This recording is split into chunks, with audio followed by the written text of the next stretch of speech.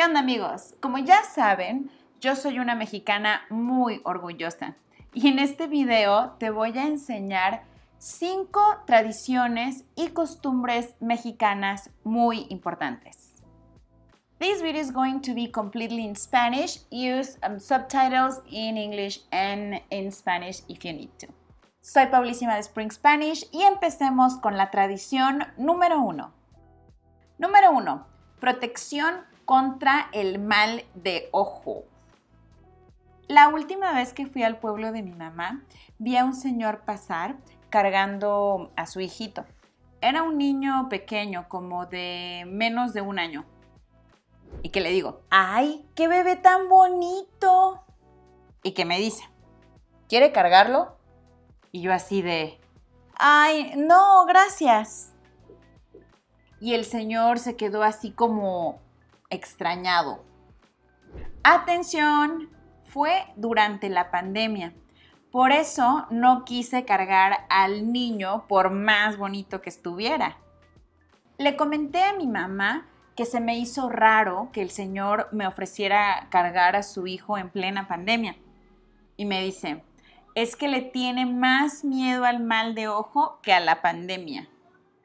México es muy tradicional proteger a los bebés en contra del mal de ojo.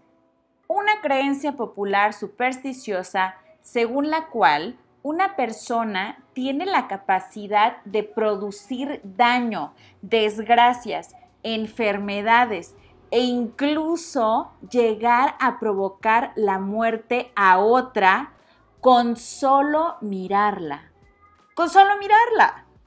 Para proteger a los bebés en contra del mal de ojo, los mexicanos, no todos por supuesto, hacemos cosas como untarles un huevo en el cuerpo a los bebés, ponerles una pulserita roja, ponerles un hilito rojo con saliva en la frente y hacer que la persona que le dio un halago al bebé lo cargue. Miren lo que mi mamá me dijo sobre este punto. Hijita, en los pueblos, si te llama la atención un bebé o un niño, te piden que lo abraces, que porque si no el bebé se enferma. Les da calentura, diarrea y lloran muchísimo. Dicen que cuando son varones, los bebés les da más feo. Las niñas aguantan más.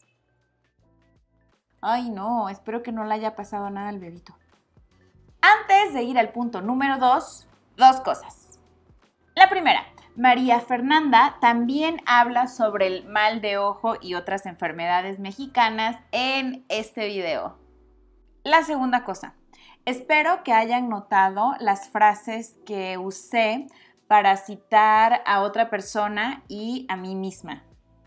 Y que le digo, ¡ay, qué bebé tan bonito! Y que me dice, ¿quiere cargarlo? Y que le digo, y que me dice, estos chunks son excelentes para contar una anécdota, sobre todo en español mexicano. Te harán sonar como todo un nativo.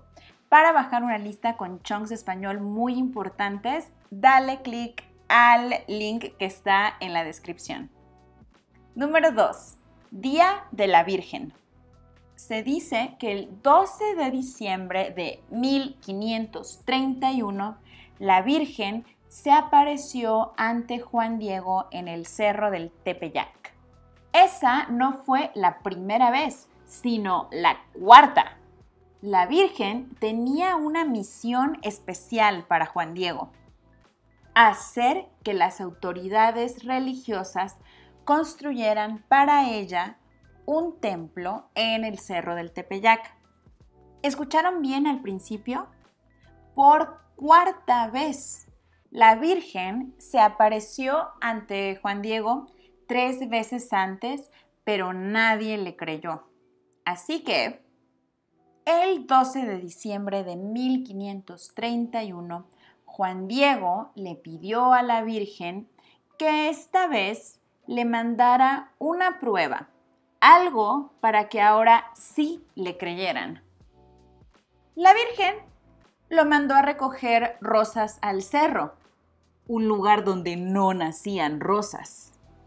Juan Diego cortó las rosas y se las puso en su ayate para mostrárselas a los obispos. Cuando extendió su ayate, las rosas cayeron y esta imagen apareció. La Virgen Morena, la Virgen de Guadalupe. Esta vez sí le creyeron.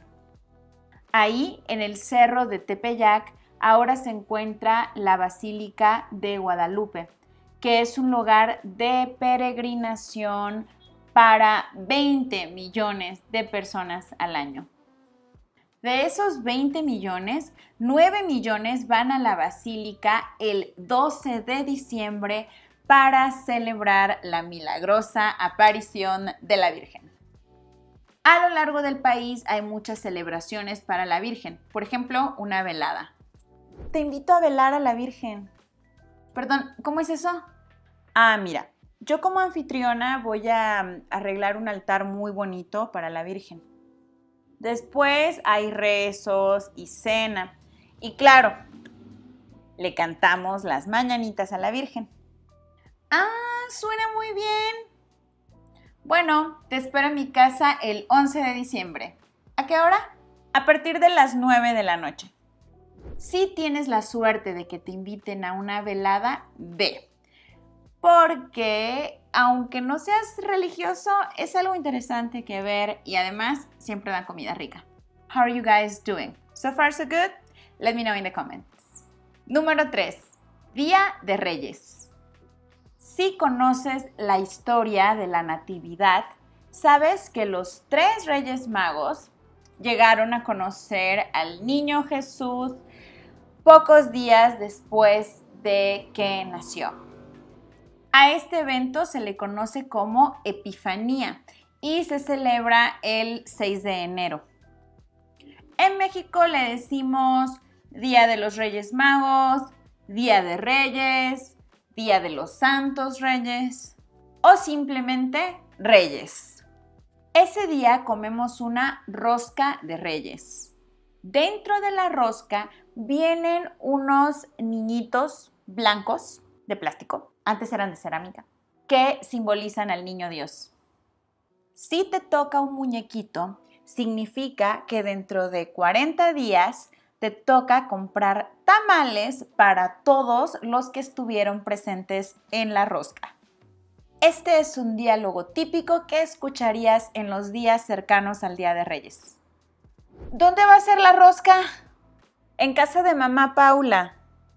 Mamá, ¿a qué hora llegamos para la rosca? Como a las 8. Como puedes darte cuenta, muchas de las tradiciones de México están enlazadas con la religión.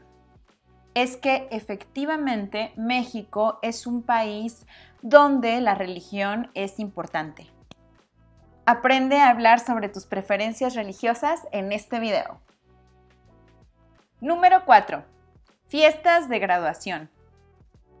Algo que les sorprende mucho a los extranjeros sobre México es que las fiestas de graduación de la universidad son muy, muy grandes.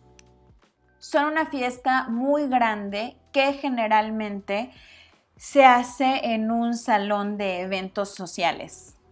El código de vestir es formal y es una fiesta tan grande como una boda. Esta soy yo el día de mi graduación. Ah, te invito a mi fiesta de graduación. Es dentro de dos meses. Super, sí. ¿Cuánto cuesta el boleto? 1800 pesos. Ok. Te lo paso la próxima semana, ¿sale? Ok. Ah, sí. Tenemos la costumbre de que cada invitado pague su boleto para asistir a la fiesta de graduación. Número 5. Día de la Candelaria. 40 días después de Navidad se celebra el Día de la Candelaria el 2 de febrero. Se celebra comiendo un montón de tamales. Este día representa el día que la Virgen fue al templo a purificarse y a dar gracias.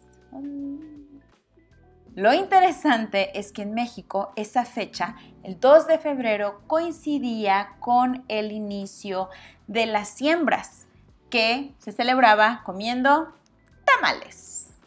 ¿A quién le tocaron los tamales? A mí no.